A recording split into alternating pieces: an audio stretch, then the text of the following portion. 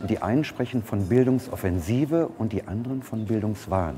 Und wir selbst sind dabei, gerade jetzt im Kita-Bereich, einen ganz starken Bildungswahn zu unternehmen. Und das ist das, was Bildung nicht auszeichnet.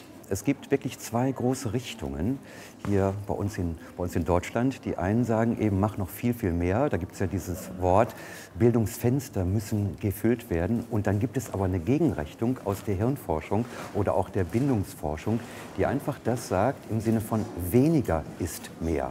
Also Bildung vollzieht sich ja so, dass ich mich mit mir auseinandersetze, dass ich Zeit habe, dass ich Ruhe habe, dass ich Dinge eben auch zu Ende bringen kann und deswegen mit einem ganz hohen Selbstwertgefühl sich auch abzugrenzen zu dem, was nicht entwicklungsförderlich für Kinder ist.